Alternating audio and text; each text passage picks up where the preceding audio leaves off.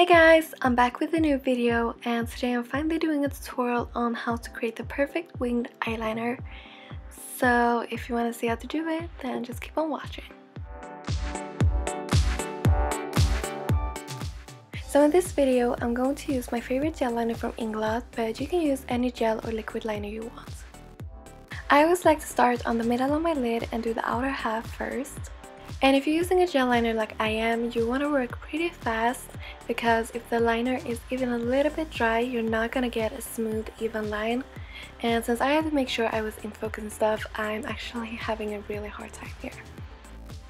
So when I'm done with the outer half, I like to tilt my head to the side and do the inner half of the lid.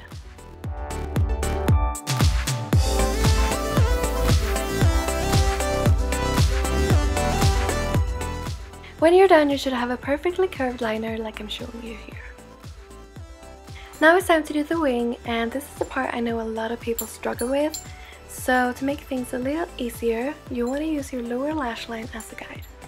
So I'm just gonna make a line and I don't know if you can tell but I'm kind of lifting my brush when I get towards the end so that I can get a really thin line. Now we're going to connect the two lines by making a line from the corner of the eye to the middle of the wing, if that makes sense. The reason I'm not going all the way to the top of the wing is because I would end up with a really chubby wing and I don't want that. And I always like to do a little wing on the inner corner as well. And now that I'm done with the right eye, I'm just gonna move on to the left eye and do the exact same thing.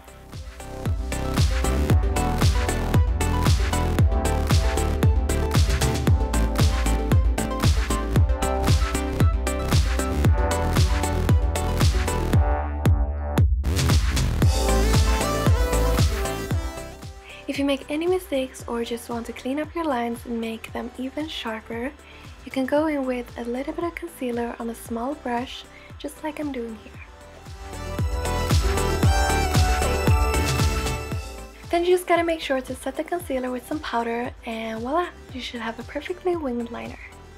Thank you so much for watching and I'll see you guys next week. Bye!